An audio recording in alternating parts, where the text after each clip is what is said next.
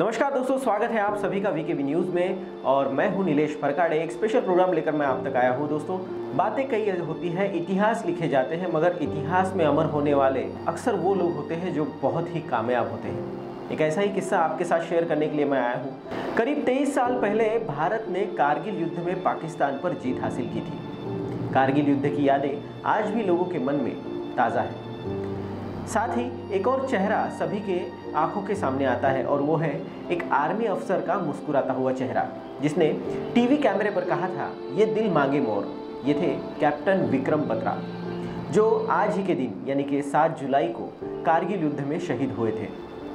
लेकिन शहीद होने से पहले उन्होंने कुछ ऐसा किया, जिससे कारगिल युद्ध में भारत की जीत तय हो गई थी। कैप्टन विक्रम बत्रा भारतीय सेना के सबसे चर्चित नायकों में से एक है, जो युवा पीढ़ी के लिए एक प्रेरणा का स्रोत है। कैप्टन बत्रा युद्ध के मैदान में एक ऐसी बहादुरी का परिचय देते थे, जिसके बाद उनकी शहादत के चर्चे आज भी सभी की ज़ुबान पर हैं। उन्हें मरणोपरांत सर्वोच्च सैन्य पुरस्कार परमवीर चक्र से सम्मानित किया गया। 9 सितंबर 1974 को हिमाचल प्रदेश के खूबसूरत हिल स्टेशन पालमपुर में विक्रम बत्रा का जन्म हुआ था। कैप्टन बत्रा पढ़ाई में काफ़ी अच्छे थे और बेहतरीन स्पोर्ट्समैन भी थे। आ एक बात आपको यहाँ पर मैं बताना चाहूँगा कि कैप्टन विक्रम बत्रा को उत्तर भारत का सबसे बेहतर एनसीसी कैडेट भी चुना गया था। साथ ही वो कराटे में ग्रीन बेल्ट होल्डर और नेशनल लेवल के टेबल टेनिस खिलाड़ी भी थे। कैप्टन विक्रम बत्रा देशभक्त थे और हमेशा देश की सेवा के लिए सेना में जाना चाहते थे। यही वजह थी कि विक्रम बत्रा को मर्चेंट नेवी में सिलेक्शन होने के बावजूद उन्होंने भारतीय सेना में जाना पसंद किया। मीडिया रिपोर्ट्स की अगर माने तो कैप्टन विक्रम बत्रा ने सेना में जाने से पहले अपनी माँ से कहा था कि जीवन में पैसा सब कुछ नहीं होता। मुझे जीवन में कुछ बड़ा करना है। अपने देश के लिए कुछ महान काम करना है। कारगिल युद्ध के दौरान कैप्टन विक्रम बत्रा ने इन शब्दों को जिया और कुछ ऐसा कर गए, जो आज मिसाल बन गया है। कंबाइंड डिफेंस सर्विस, यानी कि सी का एग्ज़ाम क्लियर कर विक्रम बत्रा साल उन्नीस सौ छियानवे में भारतीय सेना में शामिल हुए। तीन साल बाद ही उनके जीवन का सबसे बड़ा मौका आ गया और वो था कारगिल युद्ध। जिस वक्त कारगिल की लड़ाई शुरू हुई, उस वक्त कैप्टन विक्रम बत्रा छुट्टियों पर अपने घर गए हुए थे। एक दिन जब वो अपने दोस्तों के साथ बैठकर कॉफ़ी पी रहे थे तो उसी दौरान दोस्तों ने उन्हें लड़ाई के दौरान सावधान रहने के लिए कहा। सलाह दी दोस्त थे इस पर विक्रम बत्रा ने उनसे कहा था, या तो मैं तिरंगा लहरा कर आऊँगा या फिर तिरंगे में लिपट कर आऊँगा। मगर यारो वापस ज़रूर आऊँगा।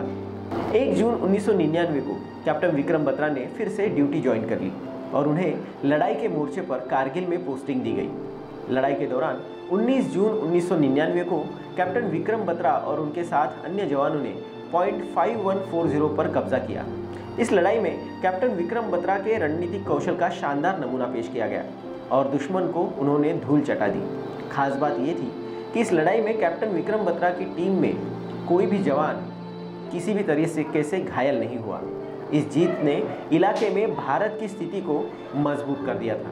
इस दौरान एक इंटरव्यू में कैप्टन विक्रम बत्रा ने देश के लिए कुछ और करने की इच्छा ज़ाहिर करते हुए कहा था कि ये दिल मांगे मोर। बढ़ी हुई दाढ़ी और विश्वास से चमकता कैप्टन विक्रम बत्रा का वो चेहरा आज भी लोगों के जहन में ताज़ा है।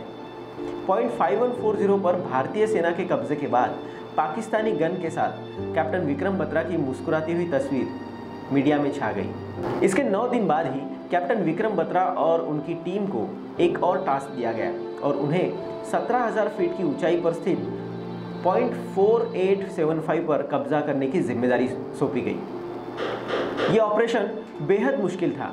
बर्फीली चोटियों और 80 डिग्री की ऊंचाई पर चढ़ना और वहाँ दुश्मन से लड़ना बेहद मुश्किल काम था। लेकिन भारतीय सेना के वीर जवानों ने सारी चुनौतियों को पार पाते हुए पाकिस्तानी ठिकानों पर हमला बोल दिया 7 जुलाई की रात कैप्टन विक्रम बत्रा और उनकी टीम के अन्य जवानों की पाकिस्तानी सैनिकों के साथ भयंकर लड़ाई हुई। कैप्टन विक्रम बत्रा के साथ उनके साथी और भारतीय सेना के एक और हीरो, कैप्टन अनुज नैयर भी साथ थे। भारतीय सैनिक बहादुरी से लड़ते हुए दुश्मन के बंकरों को क्लियर करते जा रहे थे। तभी एक जूनियर अफसर बम धमाके से घायल हो गया। साथी को घायल देख कैप्टन विक्रम बत्रा ने उन्हें बचाने के लिए बंकर से बाहर निकलना पड़ा। इस दौरान एक साथी ने उन्हें रोकने की भी कोशिश की। लेकिन कैप्टन बत्रा ने कहा कि तू बाल बच्चेदार है, हट जा पीछे। इतना कहकर कैप्टन बत्रा साथी को बचाने के लिए बंकर से बाहर आ गए। इस दौरान उन्होंने दुश्मन के कई बंकर तबाह कर दिए और दुश्मनों को निस्त नाबूद कर दिया। लेकिन जब वो घायल सैनिक के पास पहुँचे और उसे उठाने के लिए नीचे झुके, तभी एक गोली उनके सीने में आकर लग गई। भारतीय सेना का ये वीर सैनिक वीर गति को प्राप्त हो गया।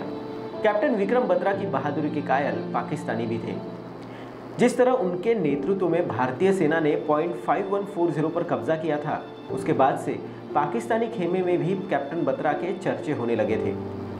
जब कैप्टन विक्रम बत्रा और उनकी team point four eight seven five पर कब्जे के लिए चोटी पर चढ़ाई कर रही थी, तभी एक पाकिस्तानी सैनिक ने कैप्टन बत्रा के रेडियो को इंटरसेप्ट कर लिया और एक चुनौती देते हुए कहा था कि शेरशाह ऊपर मत आना, वरना मुश्किल में पड़ जाओगे। हालाँकि, जब लड़ाई हुई तो कैप्टन विक्रम बत्रा ने दुश्मनों को नाको चने चबवा दिए। बता दें, एक महत्वपूर्ण बात यह है यहाँ पर कि कैप्टन विक्रम बत्रा का कोड नेम शेरशाह था। सुबह तक भारतीय सेना ने point four eight seven five पर कब्जा कर लिया था, लेकिन इस दौरान भारतीय सेना के सबसे महान सैनिकों में से एक, कैप्टन विक्रम बत्रा और कैप्टन अनुज नैयर शहीद हो गए थे। कैप्टन अनुज नैयर को मरणोपरांत महावीर चक्र से सम्मानित किया गया। आज point four eight seven five को विक्रम बत्रा टॉप के नाम से जाना जाता है। कैप्टन बत्रा का जन्मस्थान आज उनके नाम से पहचाना जाता है। शहर के मुख्य चौराहे पर कैप्टन बत्रा की प्रतिमा लगाई हुई है। समय समय पर ऐसे लोग पैदा होते रहते हैं, जिनके आगे नायक जैसे शब्द भी छोटे पड़ जाते हैं। कैप्टन बत्रा भी ऐसे ही लोगों में शामिल थे। जिनका नाम और देश के लिए की गई उनकी सेवा कई पीढ़ियों तक प्रेरणा देती रहेगी। नमस्कार।